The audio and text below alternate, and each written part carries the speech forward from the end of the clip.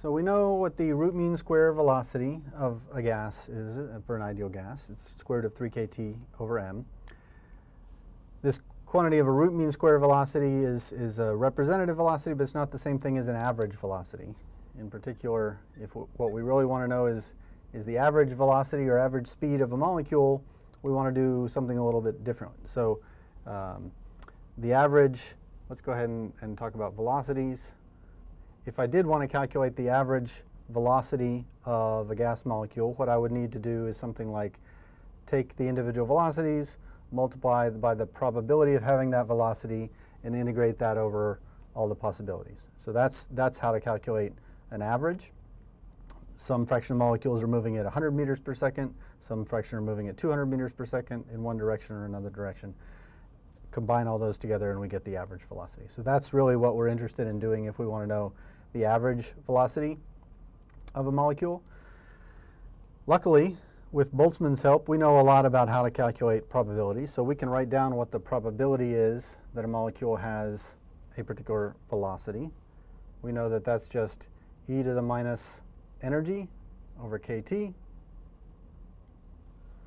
divided by a partition function. And the energies in particular since we're treating these gas molecules as having nothing other than kinetic energy, their energy is 1 half mv squared. So probability that a molecule has a velocity v is e to the minus 1 half mass times that velocity squared divided by kt, all divided by a partition function. So we need to know what the partition function is.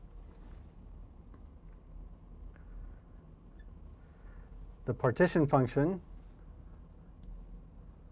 is also e to the minus energy over kT, the Boltzmann factor, but integrated over all possible uh, values of the velocity. So uh, again, let me distinguish here between velocities and speeds. So just to be clear, when I write v with a arrow on top, that's talking about a velocity vector. A vector uh, that has not only some magnitude but also a direction in x, y, and z. Speed, as opposed to velocity, we can think of that as just the magnitude of the velocity vector. So a molecule can be moving with a speed of 500 meters per second, or it can be moving with a velocity of 500 meters per second in a particular direction. So the partition function we need to think about is, is this one. So I'm integrating over all velocities. So I'm integrating over uh, Vx, Vy, and Vz. So this is really a, a triple integral. Likewise, the velocity squared,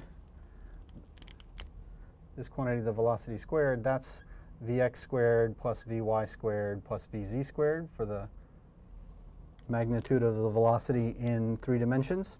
So that actually points out that this integral is, is not that difficult. Uh, this triple integral over dvx, dvy, dvz let me go ahead and write that out. So this d cubed v is the same thing as saying dvx, dvy, dvz. But since my v squared is just the sum of the vx squared, vy squared, vz squared, these integrals look like integral of minus 1 half mv squared over kt in the x direction integrated over dvx the possible values of Vx range from negative infinity to infinity. I can be moving strongly in the negative direction or, or quickly in the positive direction. Velocities have a direction as well as a, as a magnitude. That's the Vx component. There's going to be a similar component for Vy, a Gaussian e to the minus 1 half Vy squared over kt integrated over Vy, and an identical one with Vz instead of Vx or Vy. So I've broken my integral up into three different integrals. Luckily, each of those integrals has the exact same result as the others. This Gaussian integral, negative infinity to infinity, gives the same result as this one and this one.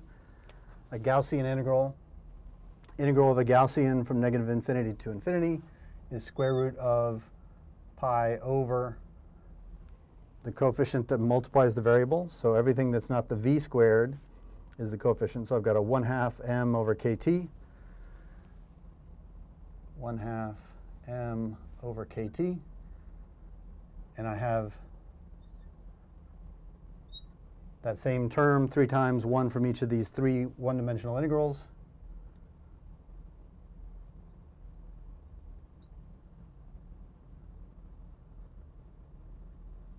So if I clean that up a little bit, the fraction in the fraction, if I resolve that, the 2 in the denominator of the denominator moves back up to the top. So I've got what looks like, uh, oh, and there's also, it's m over kt.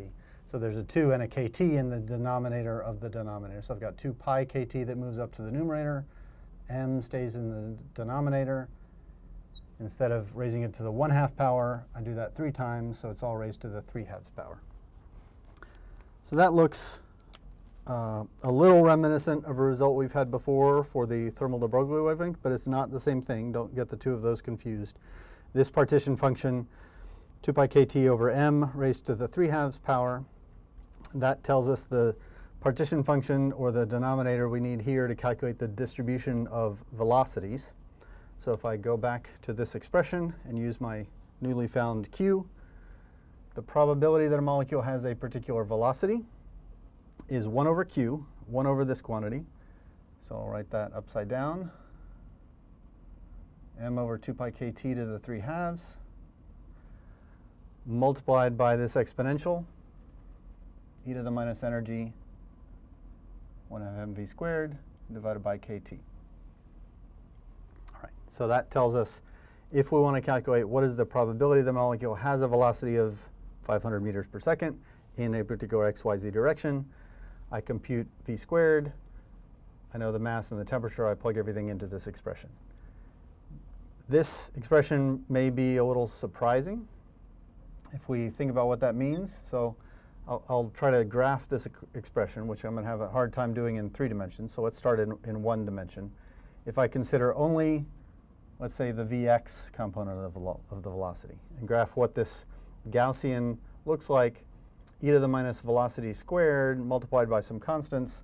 That's, of course, a Gaussian. So what that tells us is it's most likely, the highest probability, so what I've graphed here is the probability of Vx as a function of Vx. That tells us the most likely velocity is zero. It's more probable that the molecule is standing still in the x direction that's more probable than moving positively in the x direction or negatively in the x direction. So that seems a little bit surprising, right? If I extend that to two dimensions, so that I can almost draw reasonably. If I draw how the probability depends on Vx and Vy as a function of Vx and Vy, let's say, let me, so that's a Gaussian e to the minus vx squared and vy squared multiplied by some constants. So that's a Gaussian that's going to look like this. It's a Gaussian in two dimensions. So to give it some 3D shape, I've got a hill, a Gaussian hill centered on the origin. So again, 0, vx equals 0, vy equals 0 is the value that has the, the, the largest probability. So again, it seems strange that the most likely velocity that this molecule has is zero, but that's what that's exactly what Boltzmann's telling us, and it and turns out to be true. Uh, and the confusion is just in how in we're interpreting that result. And I won't attempt to draw that three-dimensional function because I'd need a fourth direction to plot what the probability looks like. Um, so we found one surprising thing. The most probable velocity looks like it's that the molecule is stationary. Uh, the other surprising thing uh, is that if I were to calculate the average velocity, the problem we started out wondering about, how do I calculate the average velocity of this molecule? The average of Vx, because I have equal probability of moving 100 meters per second to the left and 100 meters per second to the right, the two sides of this curve cancel each other out. So if I calculate the average velocity, I'm going to get zero. If I plug this result back into here, and do the integral, I would find out that the average velocity is zero because of the symmetry of being equally likely to move to the left and to the right. Again, that's not a surprising result once we understand that that's the question we asked. Average velocity, which has a direction, the, the two directions cancel each other out Likewise, in two directions, in two dimensions, plus y and, and minus y cancel each other out. Same thing in three dimensions. Turns out the question we should have been asking all along is what's the probability of having a molecular speed, the magnitude of the vector? And the answer to that question, so what we've calculated is the distribution of molecular velocities, which is important, but to get the real intuitive sense for how uh, quickly these molecules are moving and how likely each speed is, we need to be asking the question about the speed of the molecules rather than the velocity of the molecules. So that's the next step is to convert this distribution of velocities, which is the result we've obtained here, into a distribution of molecular speeds instead. So that's coming up next.